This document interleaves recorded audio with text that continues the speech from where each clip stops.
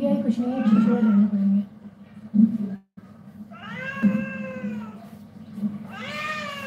पड़ेंगे